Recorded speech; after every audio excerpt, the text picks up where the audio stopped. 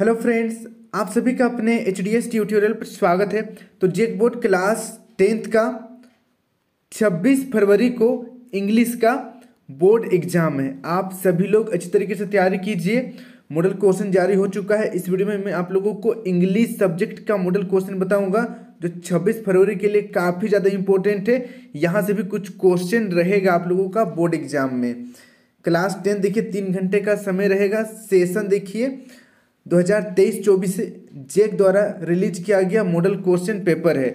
यहाँ पर जो भी क्वेश्चन है, बहुत ही ज़्यादा इंपॉर्टेंट है। अच्छी तरीके से सभी क्वेश्चन का आप लोग याद कर लीजिएगा, ताकि आपका जो एग्ज़ाम है वो अच्छे से जाए। तो इस वीडियो में मैं आप लोगों को ऑब्जेक्टिव क्वेश्चन और आंसर बताने वाला हूँ। इसके बाद आप लोगों के लिए मैं सब्जेक्टिव अपलोड कर दूँगा। और बाकी सब्जेक्ट मैंने अपलोड कर दिया है, नीचे डिस्क्रिप्शन पर चेक कीजिएगा। वेरी वेरी इंपॉर्टेंट क्वेश्चन आपको मिल जाएगा। और मैंने सभी सब्जेक्ट का जो रिपीटेड क्वेश्चन है, दो तीन साल में रिपीट हुआ है, वैसा क्वेश्चन आप लोगों के लिए मैंने वीडियो बना दिया है, नीचे डिस्क्रिप्शन पर मिल जाएगा लिंक उसको भी देखना मत भूलिएगा, उस वीडियो में आपको पता चलेगा कौन कौन सा क्वेश्चन कितना कितना बार रिपीट हुआ है बोर्ड एग्ज़ाम में। बहुत ज़्यादा इंपॉर्टेंट है डिस्क्रिप्शन में मैं लिंक दे दूँगा। तो देखिए, सबसे पहले हम लोग अब यहाँ पर क्वेश्चन की ओर बढ़ते हैं। एक पैसेज दिया हुआ है, इस पैसेज को पढ़ना है। उसके बाद नीचे कुछ क्वेश्चन है पैसेज से रिलेटेड उसका आंसर देना है। तो पैसेज को आप लोग आराम से पढ़ लीजिएगा। बोर्ड एग्ज़ाम में कम से कम दो बार पढ़ लीजिएगा, उसके बाद क्वेश्चन आंसर बनाइएगा। देखिए read the passage given below carefully and choose the correct option to answer the question देखिए one of the greatest value of punctuality is that is gives discipline to life. We have to get up in time.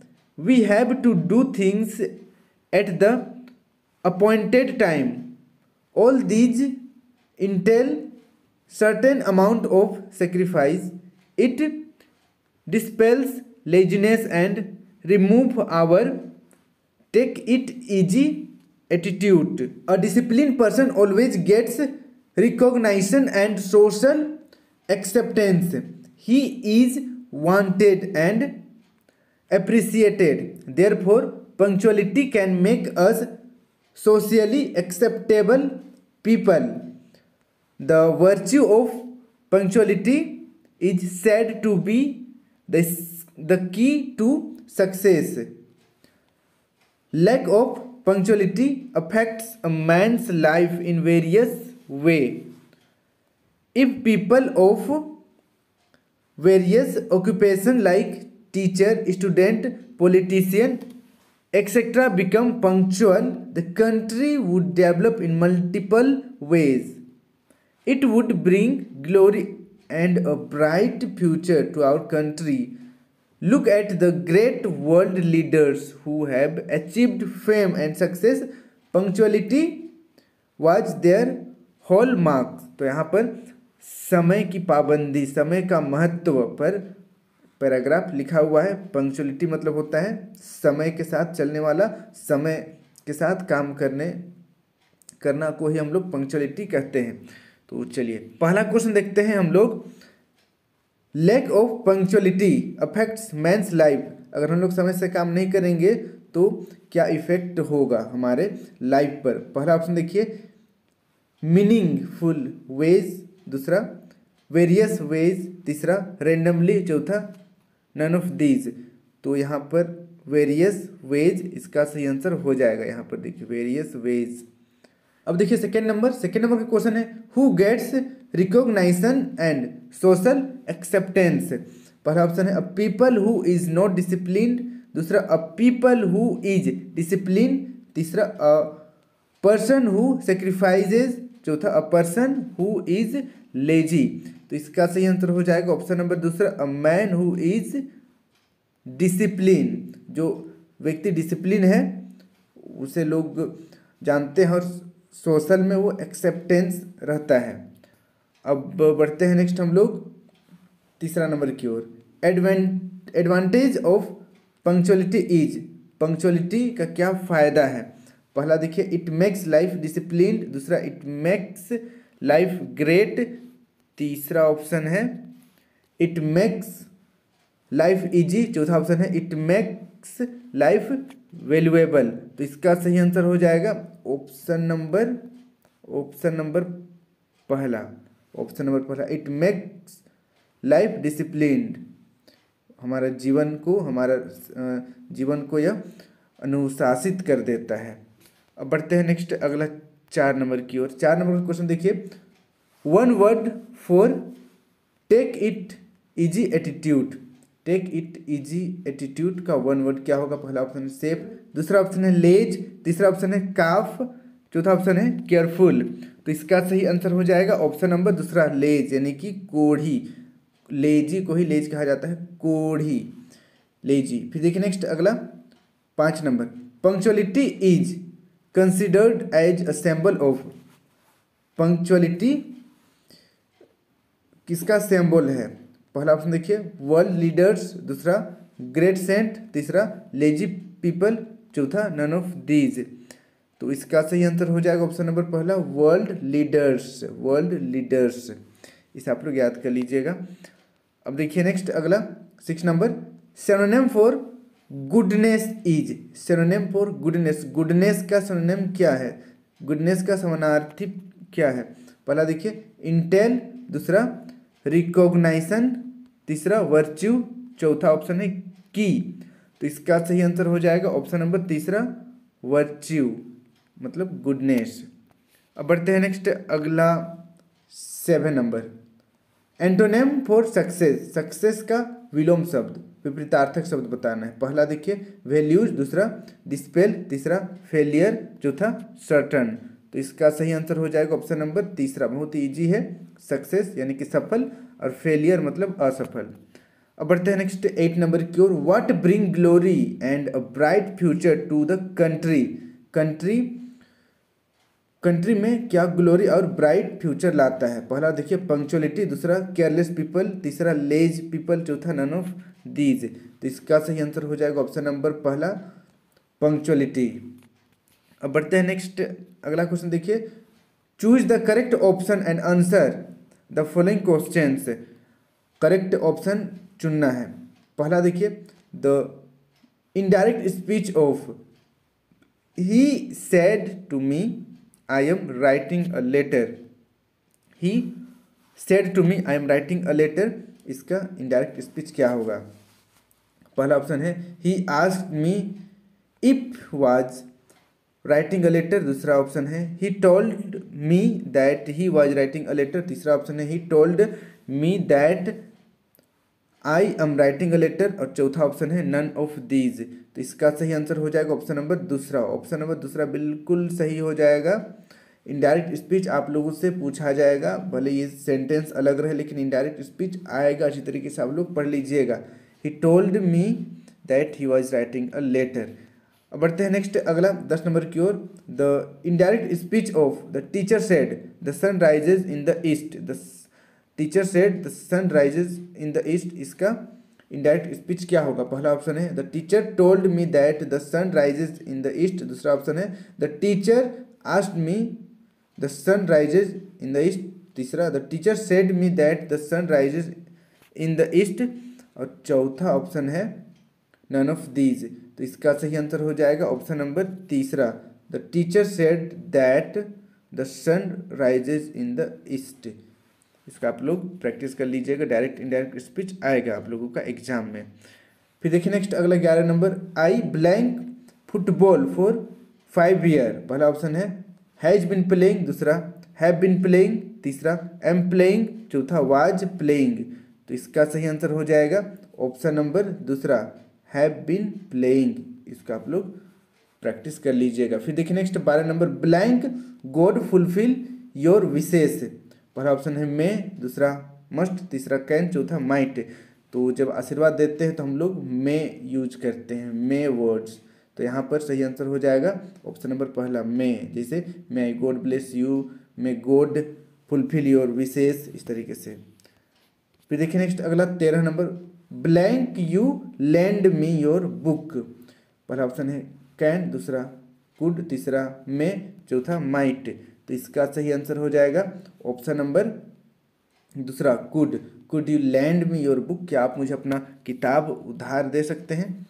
देखिए next चौदह number Manish is driving a car is an example of Manish is driving a car किसका example है? बताना कौन सा tense का पहला option है?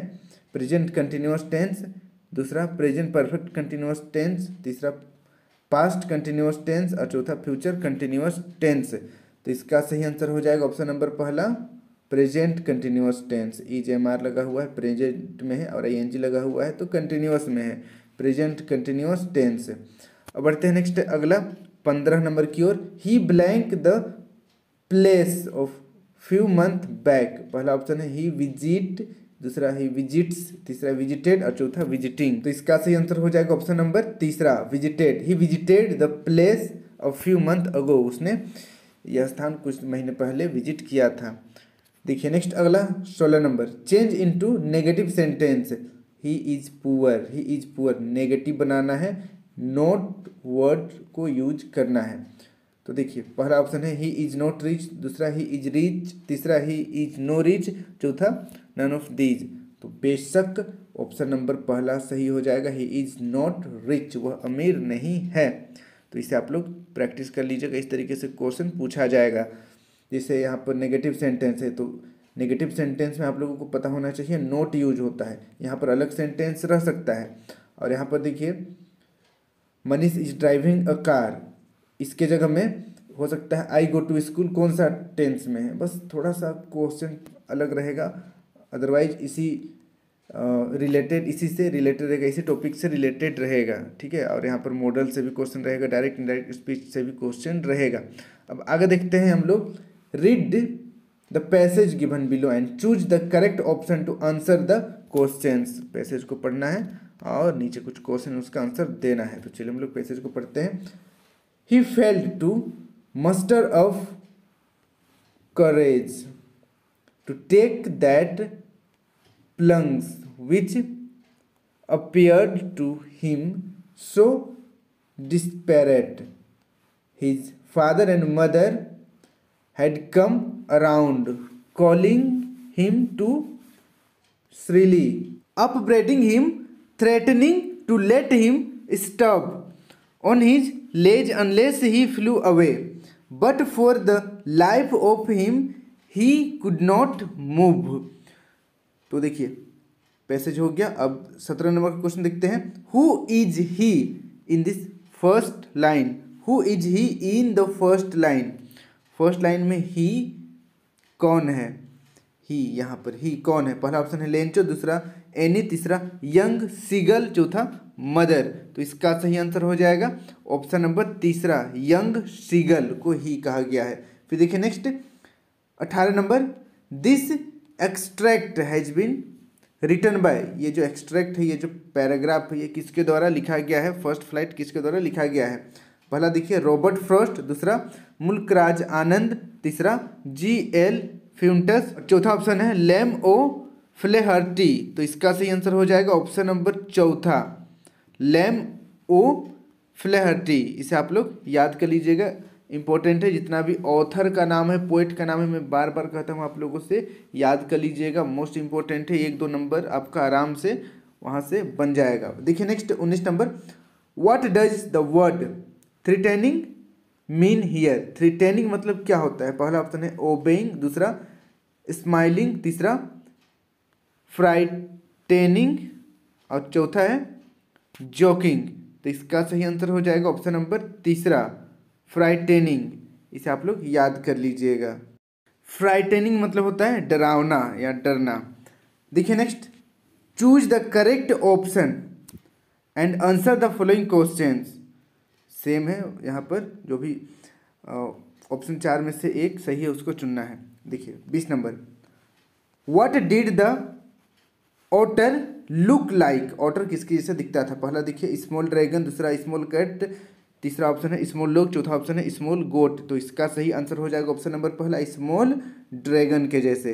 फिर देखिए next twenty one number what is a country's greatest wealth कोई भी देश का सबसे बड़ा धन क्या है? पहला ऑप्शन है इट्स मिनरल्स दूसरा इट्स पीपल चौथा इट्स टेक्नोलॉजी चौथा ऑप्शन है नन ऑफ़ दीज तो इसका सही आंसर हो जाएगा ऑप्शन नंबर, दूसरा इट्स पीपल इट्स पीपल देश के लोग, कोई भी देश का सबसे बड़ा धन होता है। फिर देखिए नेक्स्ट अगला twenty two number what was Gautam Buddha early name Gautam Buddha का प्रारंभिक नाम क्या था? पहला ऑप्शन है सिद्धा दूसरा सिद्धार्थ, तीसरा सिद्धा, चौथा सिद्धार्थ।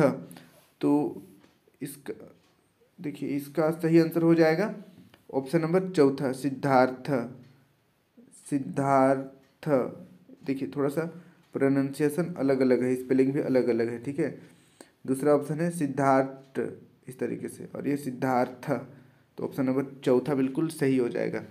अब बढ़ते हैं नेक्स्ट अगला twenty three number the baker from Goa was called Goa के जो बेकर हैं, उसको क्या कहा जाता है? पहला ऑप्शन है पेडर, दूसरा डेपर, तीसरा रेडर, चौथा none of these.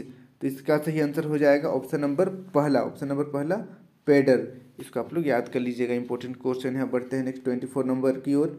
What are the two negative creatures that Robert Frost used as carriers of positivity पहला ऑप्शन है स्नो डस्ट दूसरा हेमलॉक ट्री क्राउ तीसरा हेमलॉक ट्री एंड स्नो चौथा देखिए स्नो एंड क्राउ तो इसका सही आंसर हो जाएगा ऑप्शन नंबर दूसरा hemlock tree and crow.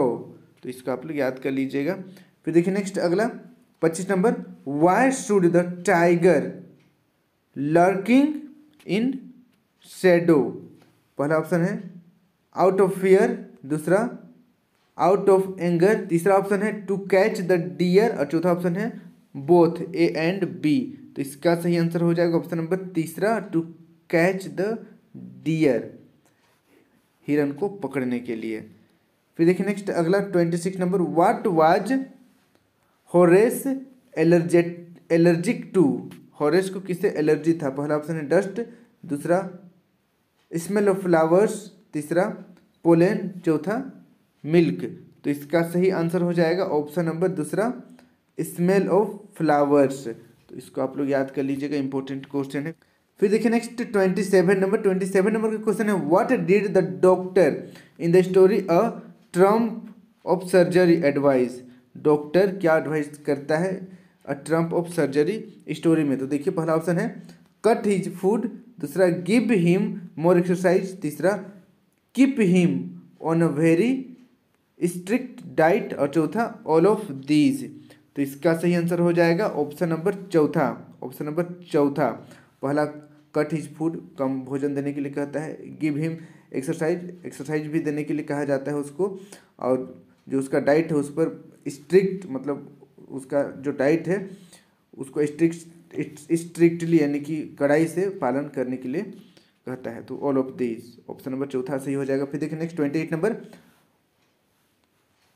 who is Fowler in the story of the midnight visitor the midnight visitor, जो स्टोरी है उसका फॉलर कौन है? पहला ऑप्शन है सीक्रेट एजेंट, दूसरा स्पाई, तीसरा नॉर्मल इनविजिलेटर, चौथा राइटर। तो इसका सही आंसर हो जाएगा ऑप्शन नंबर चौथा, राइटर। राइटर, इसको आप लोग याद कर लीजिएगा। फिर देखिए नेक्स्ट, अगला, twenty nine number. What type of man was Griffin Griffin कैसा आदमी था? तो इसका आंसर देखिए, पहला ऑप्शन है लॉलेस पर्सन दूसरा ब्रिलियंट साइंटिस्ट तीसरा इंजीनियर चौथा बोथ ए एंड बी तो इसका सही आंसर हो जाएगा ऑप्शन नंबर चौथा both A and B lawless person भी था और ब्रिलियंट साइंटिस्ट भी था। अपना जो इन्वेंशन किया था, उसको अगर सही जगह यूज़ करता जनता का भलाई के लिए तो काफ़ी अच्छा होता। देखिए next thirty number what did Ramlal demand as dowry Ramlal दहेज में क्या माँगता है? पहला ऑप्शन देखिए मनी दूसरा ऑप्शन है रेफ्रिजरेटर तीसरा ऑप्शन है टेलीविज़न चौथा ऑप्शन है ऑल ऑफ़ अबब तो इसका सही आंसर हो जाएगा ऑप्शन नंबर पहला मनी पैसा माँगता है रामलाल दहेज में। तो इसे आप लोग याद कर लीजिएगा। नीचे इधर पूरा सब्जेक्टिव क्वेश्चन इसको हम लोग किसी और वीडियो में कवर करेंगे। आज के लिए इतना ही। सभी क्वेश्चन जो यहाँ पर मैंने बताया है मॉडल क्वेश्चन है जेक के द्वारा रिलीज़ किया गया है। इसको आप लोग अच्छी तरीके से याद कर लीजिएगा। एक भी क्वेश्चन को इग्नोर नहीं करना है। वीडियो को अपने सभी दोस्तों के साथ शेयर कर दीजिएगा ताकि उन्हें भी इस वीडियो का लाभ हो सकेगा। और आप सभी लोग चैनल को सब्सक्राइब कर लीजिएगा। Thank you for watching video जय हिंद जय भारत